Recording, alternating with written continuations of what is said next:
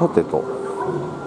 ということでね私はですねまあここはですね、えー、愛知県名古屋市のね、えー、名鉄、えー、近鉄か。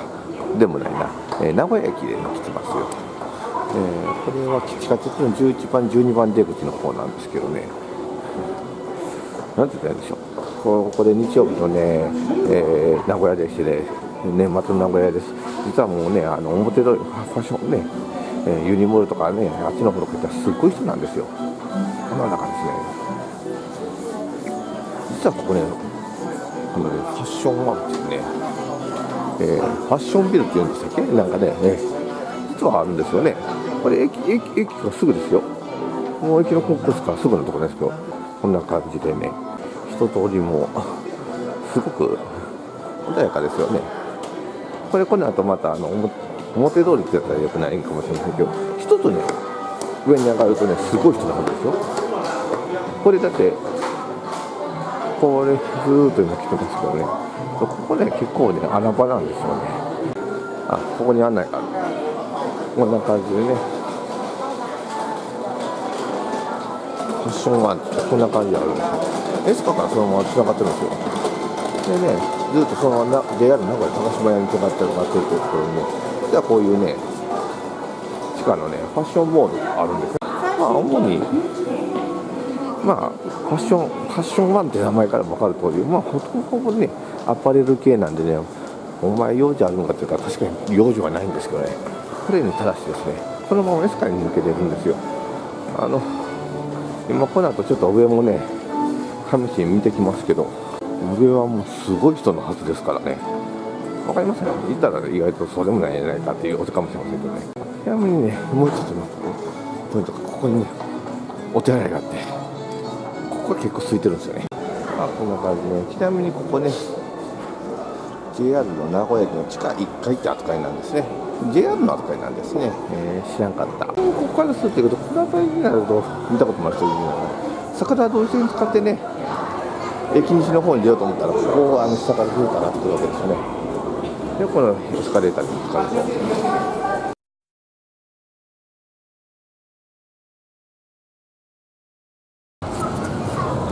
これはもうちょっとエスカレーター登ったらこのざんまですよ。いやそうです。本当に年末のねえお昼昼の1時13時のね、えー、な名駅のあの真下なんですよ。ここのね銀の机の真下。実はあんな感じなんですよね。ここはねもう小物でも有名じゃないですか。これも新幹線口でね。いやいやいやすごい人だな。まあ昨日京都を見てきてるんでね。あの京都はもうこんなスペースもなかったですもんね。本当に床が映らんぐらい人がいましたけど、まあ、それに比べた時まあでもすごい人じゃない。こんなですよ、ね、うわうわーっていっぱい人がいっぱい。ね。そんな中でね、え実はちょっと人と入ると、ね、だいぶ少ないですよね人っ子いないっていうわけではないですけどちなみに、えっとね、エスカから向き今日は向きね、えっ、とね、乗るでしょ？エスカこう降りたら、こっちの方がエスカで有名じゃないですか。わーって人も混んどるよと。ね、その奥にはヤバトンもあったりしてね、観光で来た人で、なかなかね、あの、ヤバトンの方まで行けない人はね、えこっちの方で、名古屋名物を食べるところも多いじゃないですか。ここは結構、人通り通ってますよね、山本屋にしろ。もう1時近くになるけど、やっぱすごい人ですね。出馬武士の伊能ですね。ね伊能さんとかもすごいですねわ。え、全部これ、じ行列？うわすごい。で、こっちに味噌カツがあって、いわゆるオーソドックスなこの味噌カツですよね。えー、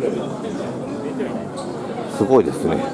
でこっちはね、で並んの秋し弁か。で、中華そばは普通ですね。あとはこれあんかけスパか。あまあ、あんかけスパはそこまで。でも満席で、まあ、まあ、ちょっとますこれ、ここは何これ？名古屋コーチンか。あすごいですね。あの、喫茶店もすごい人。まあ、で、や、これはヤバトンか。もうヤバトンをする、なんどういう列になったね、これ。すごい人ですね。まあ、やっぱし名古屋に来たでヤバトンっていうのはあるし、あと若シャチやね。これも名古屋のあれなんですよね。そうそうそう。あんなコントロールを見るとね、地元の人はもういいや、カフェロクリエでいいやんとかね、マックでええやんってなるんですけど、まあ、マックはマックで混んでるでしょうけどね。あでも Mac は駅西ね2つありますからねエスカの中と上上がったところにもできましたからね昼飯どうしましょうねあ実は早めの昼飯をね一つ食ってるんですよ。11時ぐらいに食ってるんですけどね、えー、あのリンガーハット寄ってね。そう、えー、これねバシッと出してますけど写真出したのかな、うん。えー、リンガーハットと呼ばないちゃんぽんの店じゃないですか。ね。じゃあ何のちゃんぽんを食べたのかといったらちゃんぽんを食べずに、えー、餃子定食っていうのがあるんですね。いやあのね本当にねいやこれはですねあの目から鱗なんですよね。そうそう3人前乗ってご飯と乗って600円かそれぐらいなんですよね。いいじゃないですか。ご飯大盛り無料ですし。まあ、ぶっちゃけシャンポンはシャンポンをがっつり食うのってね、えー、っていう気分でもないけどって時に餃子定食ねこれで気軽に食えるんでいいんですよね。まあねまたすごい人ですね。いやこっちの飲食店もすごいな。めちゃくちゃ並んどるな。うわひつまぶし？ひつまぶしのねはま寿司はそうでもない。今年もあれですね。思えば初期の動画で撮った時にねはま寿司さんであの実は入ってないかなと思ったら全部あ予約席になってるんですね。なるほどな。そうそうそう。初期に動画ね撮り始めた時にあのー、恵方巻きを買ったのがここでしたね、うん、そうそう。実ははま寿司さんの恵方巻きも美味しかったんですよね。そうそう。まあどこもすごい人やな。ずらりと並んどるのは山本屋本店ね。山本屋本店と山本屋総本家ってなんか別なんですですね。あの UCC 上島コーヒーと上島コーヒー風有効フィーが違うってね。みたいな感じで、ここは、私はあれですからね、あここも有名ですね、この日本一のエビフライでしたっけ、ね、名古屋が名古屋の名物、なんでいつの間に名古屋の名物になってたんでしょうね、エビフライで。うわこれもずらーって並んでるな、うわ。えこれはひつまぶしの店か。あすごいですよね。私あの実はあの並んで飯を食うっていうことをね全然しない人間なんでフライもまあやっぱしね私やっぱ名古屋の手羽先とフライフライ棒ってイメージ強いですけどねまああの昔住んどったねちっちゃい時住んどった時家の近所にフライ棒があって結構あの親父が酒のつまみに買ってくるのを、えー、私もね一緒に、えー、いただくということがありましたんでねまあそういうのもあるんですよで例えばねここでこになんか三重のささサテライトのお店あるんですよね。なんでここは赤福ではなくお福餅を売ってるんですよね。えー、おふくマックあったらいいんやけどな。夏場になったら置いとるかもしれませんね。おふくマックっていうね。ちょうど時間ですねあの赤福のパクリとか言われてるね。おふく餅がなんとマック作ったんですね。何かって言ったら何でしたっけ、えー、なんかの略なんですよね。あのアイスキャンディーなんですけどね。もういろいろと突っ込みどころ満載ですからね。あ画家福物のパクリ呼ばれとるところがねマックって名前お前マックねね、えー、マクドナルドなんかのマックなのかね iPhone のマックから取ったのかはね分かりませんけど。で作っとるのが、えーこれまたね地元で有名な井村屋の小豆バーのようなね製品を作るってね。